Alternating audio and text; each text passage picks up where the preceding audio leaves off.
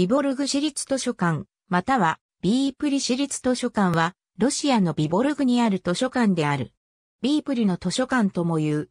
フィンランドの実業家、ユホラルッカによって建設費用が遺贈されたことから、図書館の建設が企画された。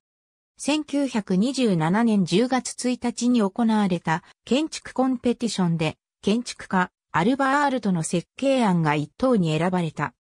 アールトは、1928年2月29日より設計を開始し、1929年5月4日に、ビープリ市の建設委員会に L 字型のプランを提出し、承認を受けている。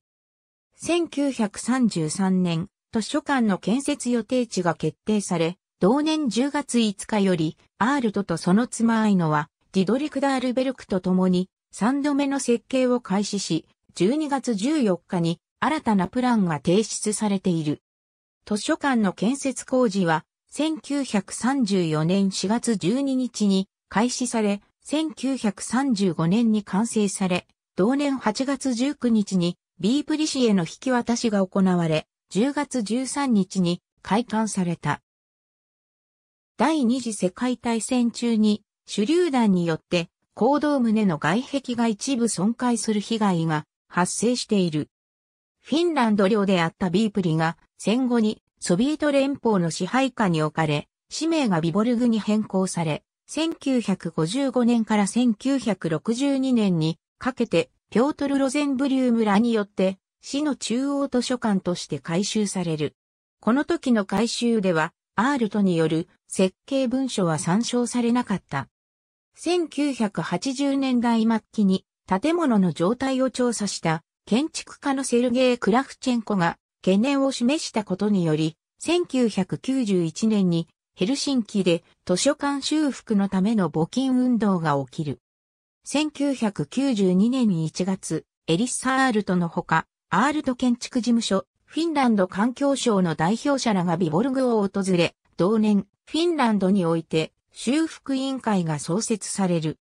アールトの設計文書に基づく修復工事が1994年に始められたが、資金は限られていたために開館しながらの工事となり、完成までには長期間を必要とすると思われていた。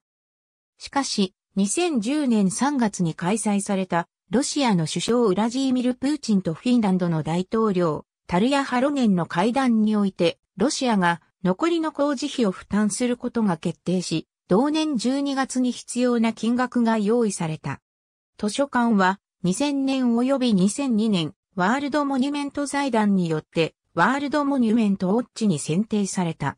2011年10月に図書館が閉館され、急ピッチで残りの工事が行われた。この修復工事では、全館に火災放置設備や警報装置が、地階にはスプリンクラー設備、暖房及び換気装置が設置された。